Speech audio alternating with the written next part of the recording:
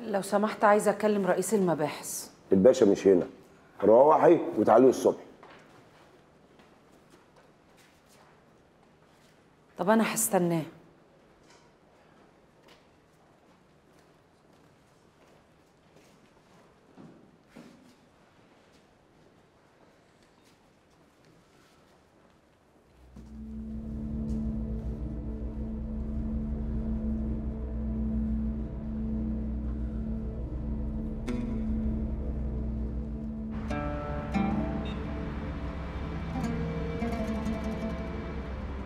خبر يا جابر اللي قلبه زين كيفك كده يا ولدي؟ ربنا بيسهل حاله واللي قلبه عوج بيغرق حتى لو في شبر مي ما بفضلش فيا حتى مش متكسر يا ام جابر. وحك تقول لي كده ده أنت راجل منصوب راجل راجل شديد دمك حامي والميلة بتعدلها يا ولدي. رقبتك يا ولدي. اللي ليه أم كيفك ما تكذبوش نفسه ابدا؟ الام صديقة كيف يمين ولو على الغربة نستحملها.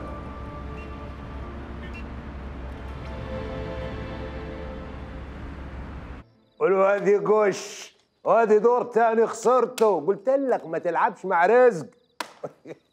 يا معلم رزق يا معلم رزق. مالك يا قريشهم؟ جابر أبو شديد دخل البلد دلوك طب روح دلوقتي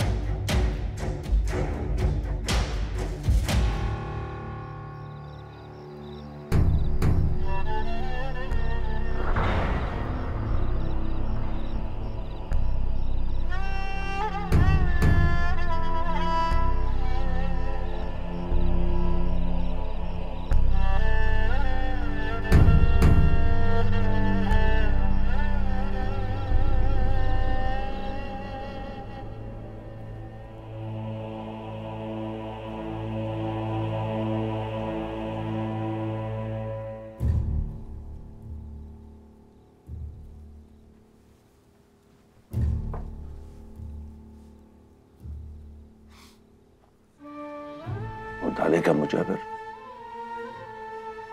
وانت عليك تروحي من غير ما تسلمي طول عمرك تتكلمي وأنا اسمع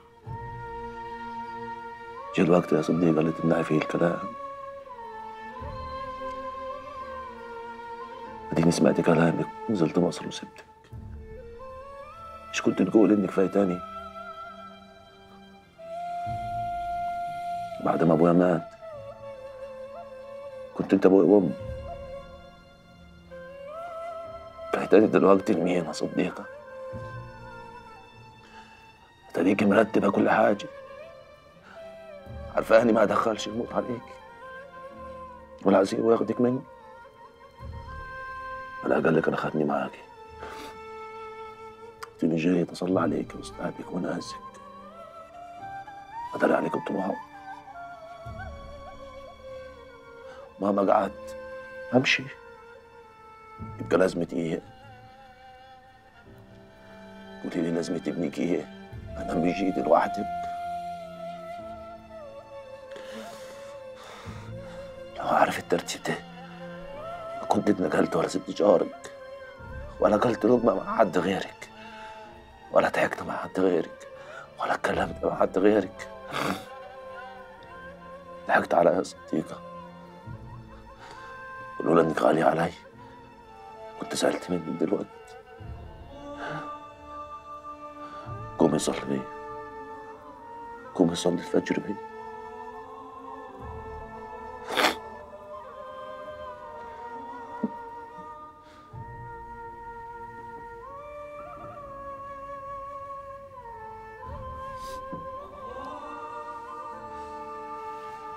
الموت ما بيهرب رمشي يا غالية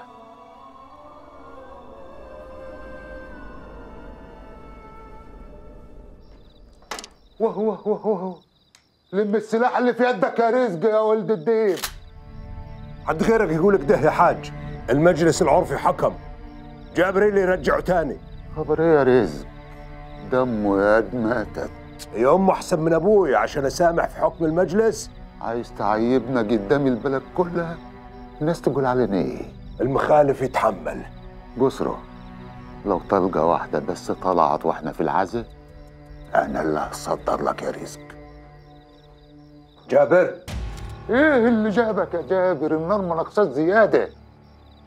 أنا جاي في اللي ماتت مش في اللي عايشين. أنا ما بخافش. أنا هنهوي بطولي لا معايا حد ولا ورايا حد. وجيت لحد عنديكم احتراما للمجلس اللي حكم عليا اتغرب سنه وأدينا أمي ماتت. واتكتب عليا الغربة لحد ما قابلها تاني. حكم المجلس حكم يا جابر. اسمع رزق. أنا جاي ادفن وماشي لو عاوزينها خير سيبوني لحالي. ولو جاية معاكم بشر خلونا ادفنها وبعدها يحلها ربنا. إن شاء الله نقوم الجمعة.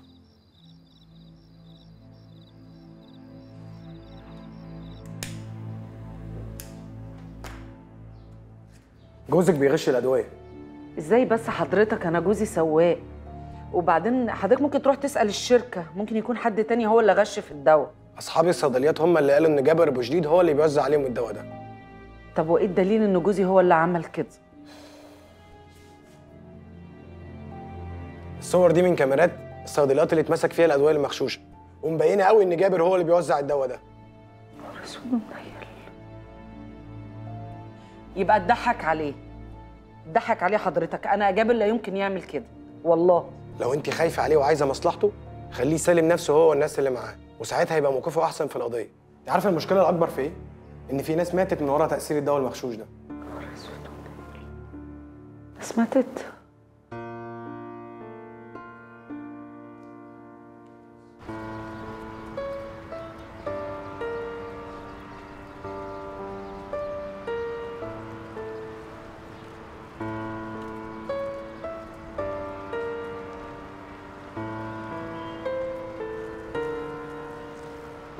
في حاجة يا بنتي؟ ممكن نساعدك بيها؟ أنا كويسة بس دخت شوية يا حاجة لا ألف سلام ألف سلام عليك.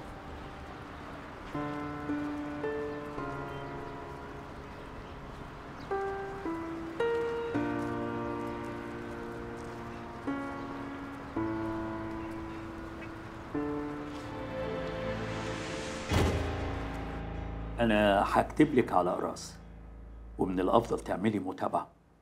عشان التعب في الشهر التاني مش كويس. لازم تاخدي بالك من نفسك. أخد بالي من إيه حضرتك؟ انت حامل.